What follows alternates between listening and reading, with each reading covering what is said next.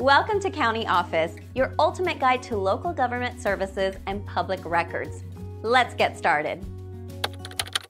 When are South Carolina property taxes due? In South Carolina, property taxes are assessed annually.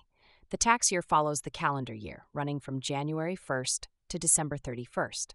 Property owners are responsible for paying taxes based on the assessed value of their property. The due dates for property taxes can vary by county. Generally, property taxes are due on January 15th of the following year.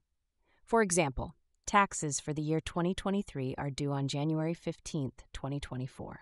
If property taxes are not paid by the due date, penalties may apply. South Carolina law allows for a penalty of up to 10% on unpaid taxes. Additionally, interest may accrue on overdue amounts. Homeowners should also be aware that they may have options for tax exemptions. Some exemptions can significantly reduce the amount owed. For example, the homestead exemption is available for eligible seniors and disabled individuals.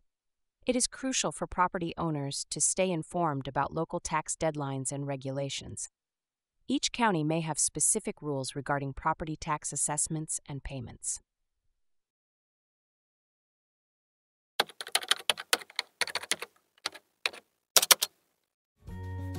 To learn more, check out these links, which you can click in the description below. And feel free to comment your questions. We're here to help. Thanks for tuning in to our video. Please like and subscribe and leave a comment below. See you in the next video.